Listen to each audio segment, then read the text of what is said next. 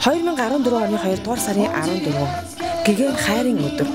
Энэ өдөш айлхай дуучид маань дурлалт хосуудын болзоог чимэглэж уран бүтээлээрээ тэдний хайр дурлалыг нялааж үдшийг хамтдаа гайхалтай өнгөрүүллээ.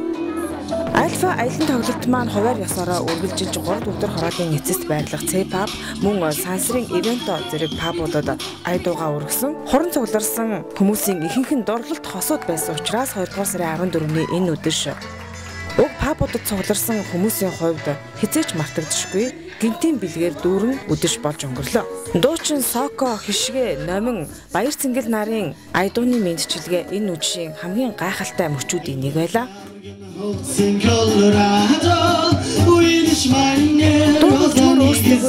Өөрсдөө дуу хөгжим дор нэгдэн залуус та бүхэнтэй хамтдаа байсан сарын турш хийсэн аялын тоглолт маань үргэлжиж 2 дугаар сарын 15-нд мөн 3 дугаар дуу хараалын эцэст байрлах C-pub сансрын ивентод болсон. Ийхүү бидний сарын турш үргэлжилсэн альфа аялын тоглолт маань өндөрлөж харин одоо зөвхөн финалийн тоглолт эрхэм үзэгч та бүхнийг бас альфа дуучдыг маань хүлээж байна. 20 дугаар сарын 21-ний өдөш Метрополис уулзцай энэ өдөш халуухан байх болно. Учир нь гэвэл сарын турш үргэлжилсэн альфа төслийн дуучдын маань дундаас хамгийн олон үзэгчтэй бөгөөд хамгийн олон үзэгчдийн лайкийг хүртсэн уран бүтээлийн эзэн энэ жилийн альфа дуучин тодорч супер шагналын эзэн болно.